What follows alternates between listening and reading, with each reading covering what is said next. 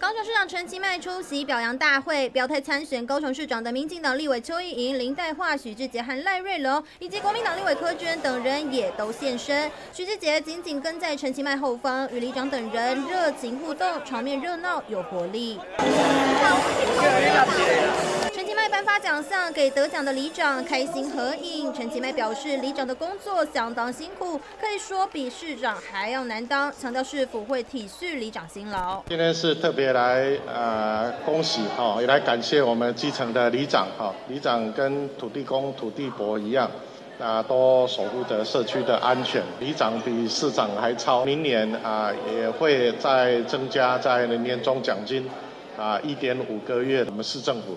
也会编足预算，啊，来体恤啊我们里长的辛劳。这届总共颁发了一百六十八位，涵盖内政部全国特优、本市特优，还有资深里长等荣誉。透过颁奖给予肯定，里长们也坦言，这份工作真的不轻松。做这四十五当来，虽然是感觉讲一个容易啦，但是呢，这个过程哦，拢点点滴滴啦，辛辛苦苦啦。拢有啦，滴滴干干啊，拢总有啦，十味啦。我觉得现在里长哦，服务都是全方位的，然后也都是没有没有什么限制的服务。有机会可以帮忙更多人的时候，我觉得是很好的事情。高雄市政府每年都会举办高雄市特优暨资深里长表扬大会，表扬高雄市里长为民服务的辛劳，同时也感谢里长们协助推动市政的用心。民新闻林淑明、庄淑婷高雄市报道。